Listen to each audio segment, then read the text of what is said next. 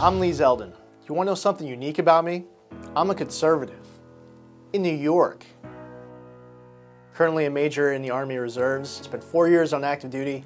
Uh, I love this country. I love our flag. When I hear the Star Spangled Banner, when I, we have Cub Scouts and Boy Scouts bringing the flags out, just, I love it. I mean, I actually think about the, the, the Boy Scouts and Girl Scouts who would send care packages over while we were deployed with cards from all over the country. They draw in pictures of a tank or a flag or an American soldier and say thank you.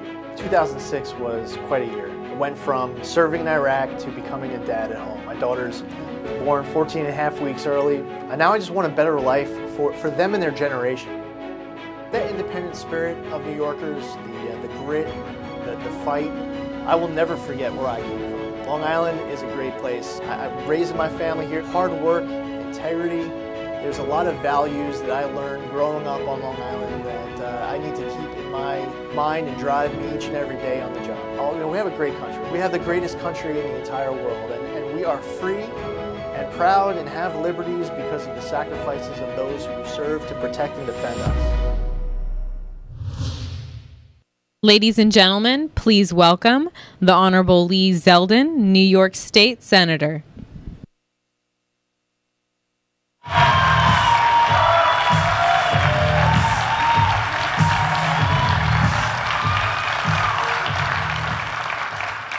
August 2006, Al Tabi Village, Iraq. I'm looking at these brave, well trained paratroopers to my left and my right, and being so very grateful for their sense of duty, their courage, their fearlessness, and their belief in a cause so much greater than themselves. We believe in the freedom upon which our nation was built, in our duty to stand up and protect it, our Constitution, and our liberties. Duty is but one of seven Army values we look to live with each and every day of our lives. The acronym is leadership, loyalty, duty, respect, selfless service, honor, integrity, and personal courage. Personal courage can be demonstrated in so many different aspects of our life. Personal courage in combat is that teenager who sees his platoon sergeant trip and fall exposed to enemy fire. So that teenager exposes himself. Platoon sergeant gets up, gets to safety, but that teenager is mortally wounded. Personal courage can be demonstrated in health. My daughter was born 14 and a half weeks early. They were less than a pound and a half when they were born. They went through more in their first three and a half months of their life that I would ever wish upon anyone to go through in their entire lives. Personal courage in Congress is when we have leaders with the will to shrink our government and control our debt and our deficits. We have, we have to stop the, the generational theft that is taking place right now and the mountains of fiscal obligations that our next generation is inheriting. It's having the personal courage to repeal Obamacare. I have never supported Obamacare and never will. Premiums are going up, deductibles are going up, people are losing their policies, they're losing their doctors. And those supporters of Obamacare are saying that we Republicans, we conservatives, don't have solutions. Well, I would encourage them to look at all of the bills that Republicans have filed in the House and the Senate. But of course, these Democrats who support Obamacare aren't going to read their own bills. So why would we expect them to read ours?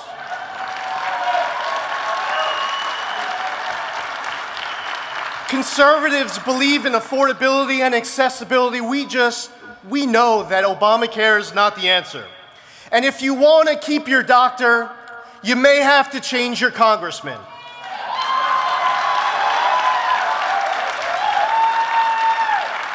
Personal courage is about stopping Common Core.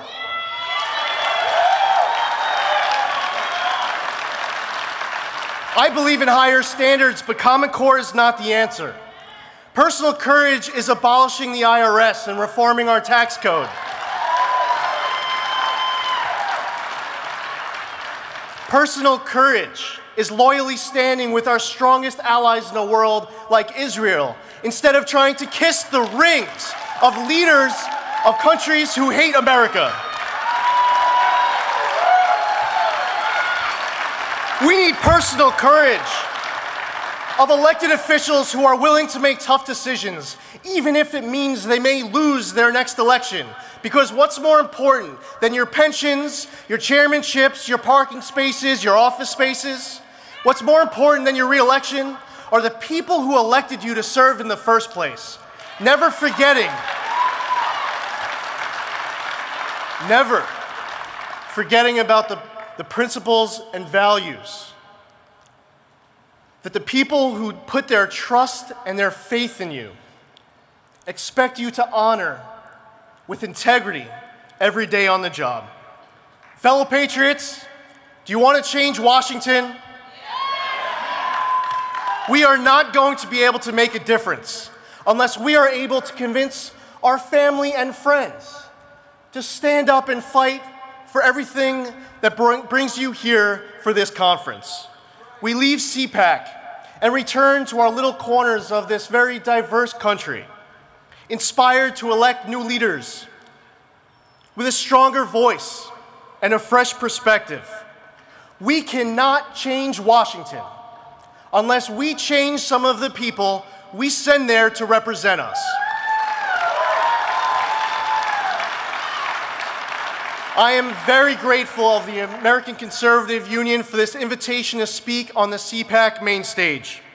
And I want to thank all of you for leading the fight to protect and defend our Constitution, our freedoms, and our liberties. We believe in America.